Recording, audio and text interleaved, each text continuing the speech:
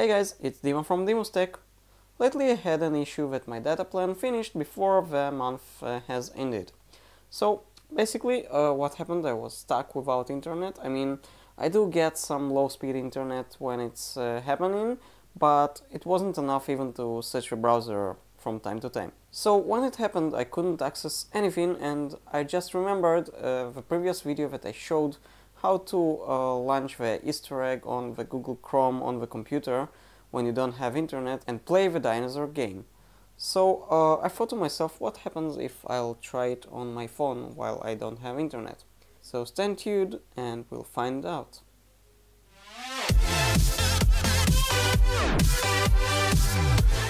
So for this example I'm going to launch airplane mode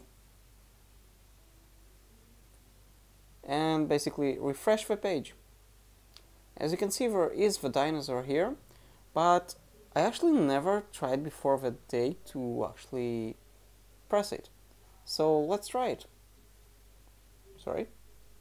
And yeah, this is the same game. Although I must uh, note that, yeah, on the computer you can actually press down and the dinosaur will go like, you know, like crouching and uh, up to jump. So there is no crouching here as far as I understand.